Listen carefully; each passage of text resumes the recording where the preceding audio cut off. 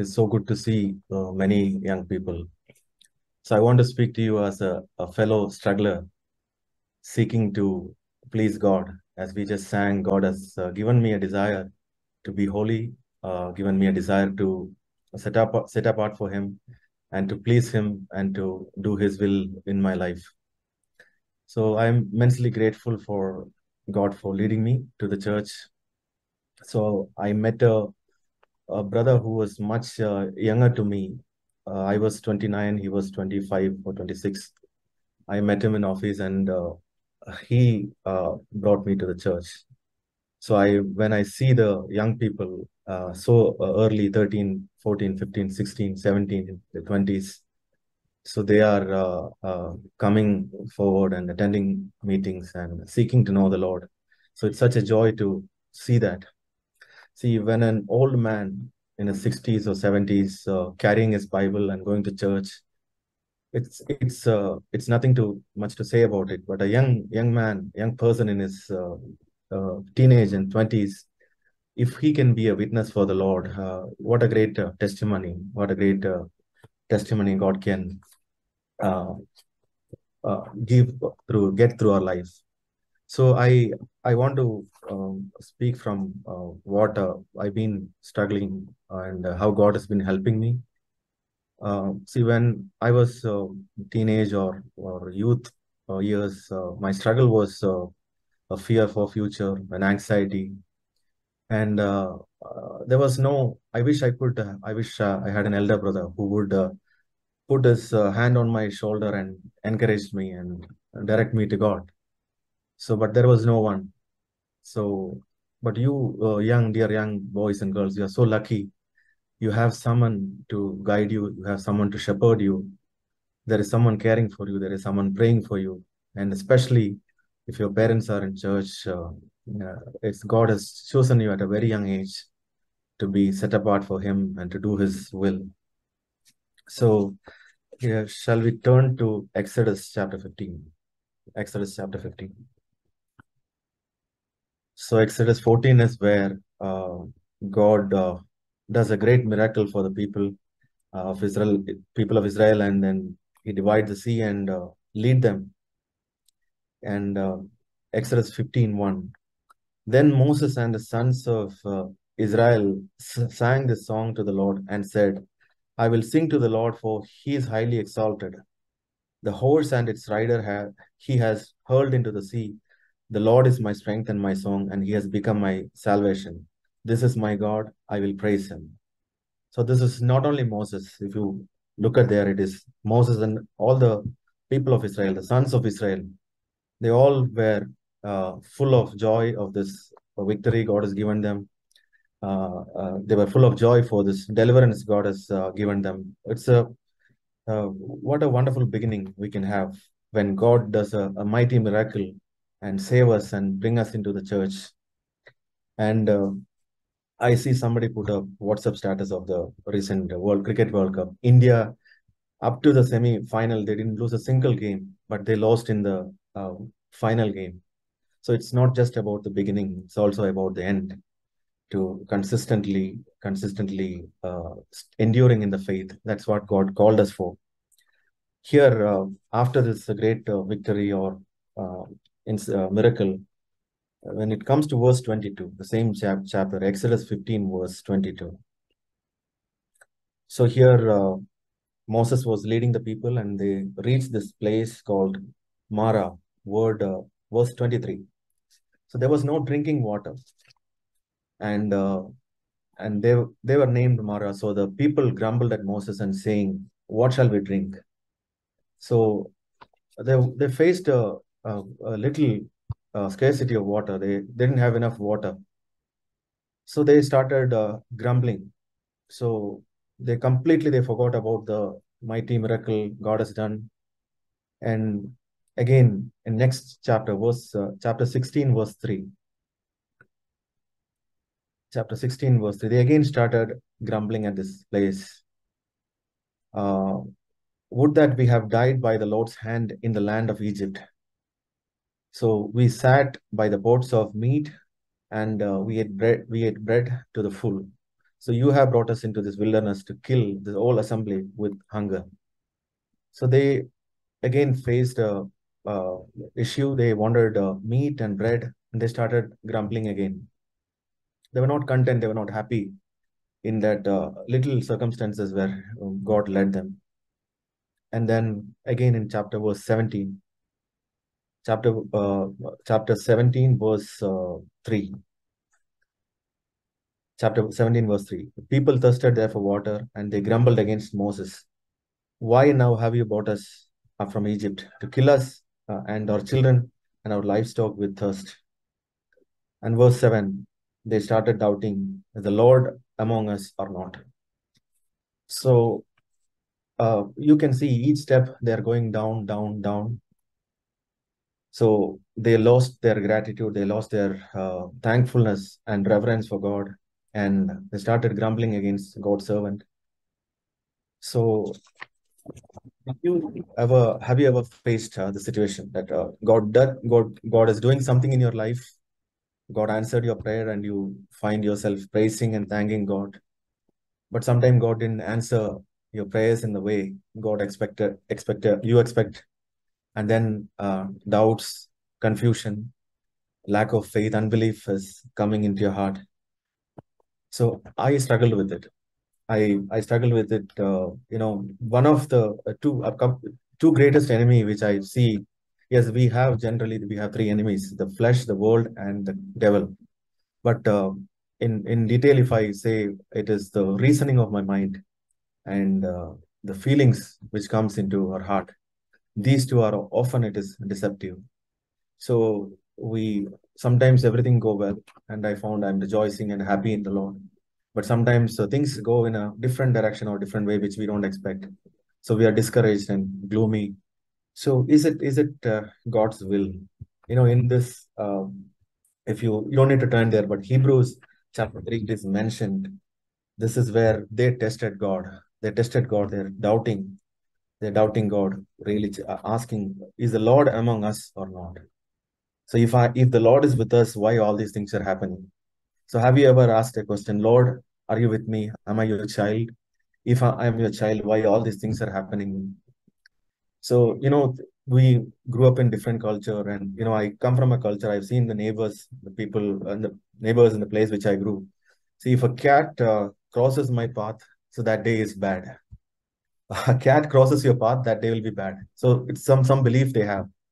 So we start thinking in that direction. If some, everything goes good, then God is with us, and something goes wrong, then God is not with us, or God is not happy with us. No, dear brothers and sisters, this is not uh, God's will for our life. Now, if you turn to, uh, you know, this incident where when Jesus appeared to the disciples, Thomas was not there. You don't need to turn there. But uh, when uh, he came, uh, the uh, disciples told him, Jesus appeared to us. He said, I won't believe. I won't believe, he said. So what a sad statement. See, um, it is Thomas who had a, such a uh, courage when uh, when he knew that Jesus will be killed. he said, let's go and die with him. Let's go and die with him. What a what a courageous action. What a what a bold step he could make but he couldn't believe that Jesus is risen and uh, Jesus appeared to the people. And when Jesus appeared to him, Thomas, uh, do not be unbelieving, but uh, believing. And blessed have you seen me, and blessed are they. Blessed uh, you have seen me, have you believed? Because you have seen me, have you believed? Blessed are they who did not see and yet believed.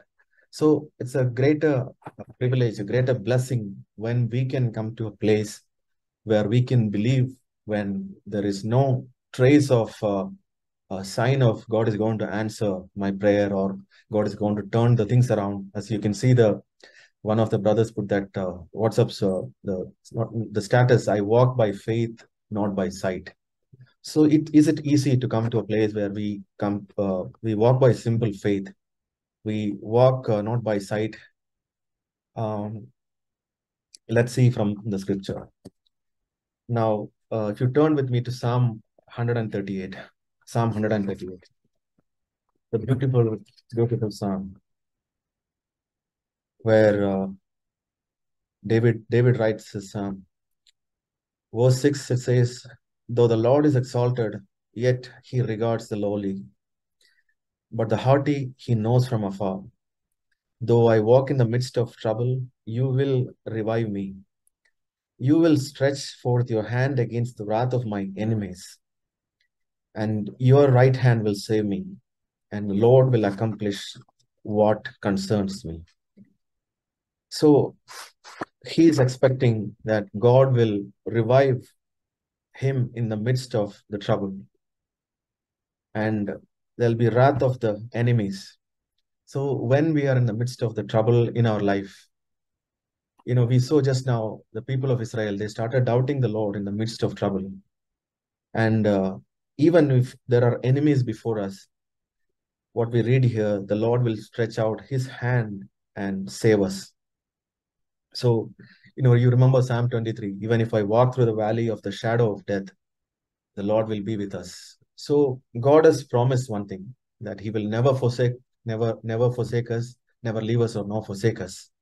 So he had uh, he has promised his wonderful presence with us. If you are a child of God, if you are really repented of your sin, and if you turn to Christ in faith, and if you accepted him as your Lord and Savior, and God our Father is your heavenly Father, and the Holy Spirit is your helper, and you have a, a Lord, Lord Jesus Christ, He's seated at the right hand side of God and interceding for you. So it's a threefold protection uh, for a child of God. So no matter what the trouble, what the difficulty you have to go through, and uh, God will bring you out of that. So you know, uh, I I didn't know when I came to uh, Christ first in my life. I never knew that there is a lot of trouble I have to go through, a little bit of difficulties that I have to go through. So I thought it's going to be a, a cakewalk, but I look back. Uh, uh, the Lord was very present with me in all the troubles. He has uh, He has delivered me from one by one. And even if I speak to you now, uh, dear young people, I have uh, there are certain areas which I look, I feel like uh, fearing, Lord, what about this? But I'm learning to trust God because uh, God has uh, promised something and He will do that. So here, if you come to Romans chapter 4, here we read about Abraham. Romans chapter 4. 4. So here is a man who uh, learned to trust God. It says, uh, 4 verse 18, in hope against hope, he believed, so that he, by, he might become a father of many nations according to that which he had spoken. Verse 19, without becoming weak in faith, he contemplated his own body, now as good as a, good as dead, since he was about a hundred years old, and the deadness of Sarah's womb. Yet, with respect to the promise of God, he did not waver in unbelief, but we, he grew strong in faith, giving glory to God. And be, having believed, he believed, he fully assured that God is what God has promised, he was able to perform. So God has uh, given a promise to Abraham that he will bless him and uh, he will bless him with uh, children and uh, uh, your descendants be like a, a, sand of the sea. But uh, then he was almost 100 years old and his body was weak and his wife even sarah's womb was weak. So you know the promise of god says that i will bless you but his body says it is impossible. So you know if you uh, let's let's go to we can read these things. So abraham is a, a great encouragement to us especially when i see how god led him now we know he is a, a man of faith, a father of faith, we call him. But uh, how how was he strong in the beginning? So verse 12, sorry, chapter 12, verse 1, Genesis chapter 12. So God called Abraham from uh, out of his family and God uh, commanded him to go to such and such a place and he started, he obeyed God. And uh, chapter 12, verse uh, 2 I will make you a great nation and I will bless you and make your name great. So you shall be a blessing and I will bless those who bless you. So uh, God called Abraham and he gave him a promise that uh, he gave him direction where to go, uh, which direction to go. And uh, when it comes to verse 7, uh, the Lord appeared to Lord appeared to Abraham and said, "To your descendants I will give this land." So he built an altar there for uh, there to God uh, who had appeared to him. So he was obeying God. He was uh, following going in the direction which uh, God told. And then verse ten, there was a famine in the land. So he he faced a problem. He faced a struggle. He was uh, we know he is a man of faith, but he look at him what he did. He went down to Egypt. So he changed his route. God called him to go to one direction, but he made, took a little deviation. Like Jonah, God asked him to go to Nineveh, but he took a, a ship and went somewhere else. So there, uh, see, uh, verse 13, he told a lie to the people, uh, to the Pharaoh, Pharaoh and the people there, that his wife is his sister. His wife is uh, his own sister. So this is man of faith.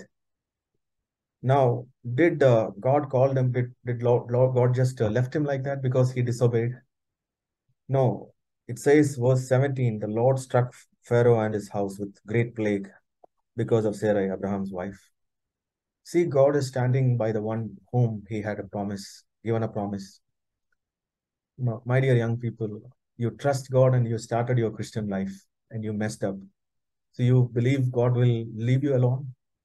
You know, uh, I have uh, two children, and one of if one of them gets sick, I will take leave and I will sit with them if if the situation demands it.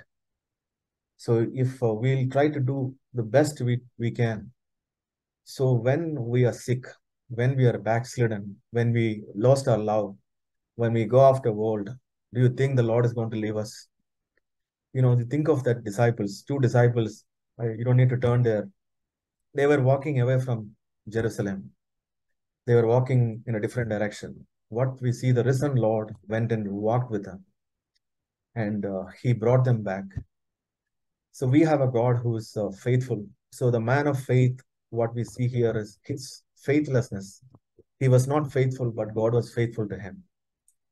So again, in verse 14, what I want you to see, God called them but each and every turning of his life, God is going down, encouraging him, building his faith again and again, not once or twice. In, in Genesis chapter 14. So, Genesis chapter 14, verse uh, 14. So, I just, you know, the story where Lot I was taken captive by the kings and there was a great battle. So, Abraham uh, went with his people and fought the kings. And uh, he brought all of them back. What a mighty, mighty person, what a courageous man. He could go and fight the kings along with the few people who were with him. Think about king fighting with a king. So it's it's not easy. So he went ahead and uh, he he defeated them. And verse uh, chapter 15, chapter 15, verse uh, 1.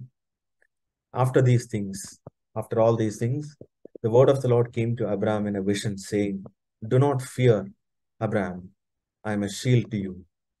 See what God spoke to him. Do not fear.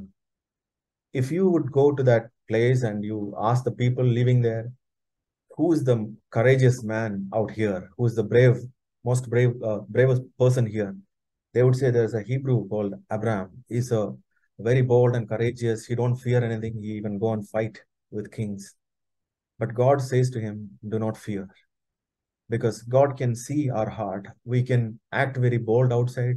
We can uh, show off that we are very courageous.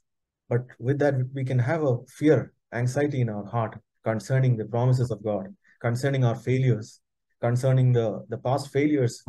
But, uh, you know, what God said to him, uh, I am a shield to you. Your reward shall be very great.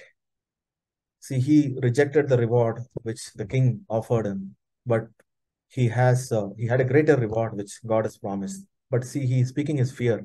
Oh Lord God, what will you give me since I am childless, and uh, the heir of my house is heir of my house is Eliezer of Damascus. So he he knew that God has promised, but he was discouraged. Here is a promise God has given to me, but it is not yet fulfilled. And verse 5, look at this verse. Genesis 15, verse 5. He took him outside and said, now look towards the heavens and count the stars, if you're able to count them. So God called Abraham outside his house and told him to look at sky and show them the stars, show him, showed him the stars. So, you know, I've seen uh, when children cry, parents take them out, small uh, children cry, parents take them out and show them the moon and then they feed them. So see, uh, God is coming down to our level, our level where we can grasp Him, we can understand Him. If uh, God has called you, my dear brother, sister, He will come down to your level. You don't have to raise Him yourself to His level. That is impossible. You, we can't raise. There is nothing in us which uh, uh, helps us to have fellowship with God. God has to come down to our level and He has to put His uh, righteousness, put His uh, goodness in us so that we can talk to him face to face. So, uh, what I want to show, uh, show you here, brothers and sisters, God called Abraham with a purpose and God has uh, given him a promise. But Abraham was not a man of faith when God called him. Yes, he had a little faith. He started uh, with a little faith, not like a, a, a great faith. He had only a faith like a mustard seed. And then he made a lot of mistakes, a lot of blunder but in and out, every time, God was going and speaking to him. God was, look back over your life, brothers and sisters, when you were discouraged in the past. Haven't you, did you receive encouragement? Maybe through some brother, some sister. So I look back, I, I see the number of times God has encouraged me. If I had not received God's encouragement, I would not be sitting here. So God is a God of encouragement. He wanted to bless you. He wanted to encourage you. And the faith even you don't have to produce the faith. You don't have to struggle for the faith. You know, it says in Hebrew 12, Jesus is the author and the finisher of the faith. So when he plants a seed of faith in your heart, he will cause it to grow. He will come and speak to you. He will speak to you when you go away from him. He will, the Holy Spirit will speak to you.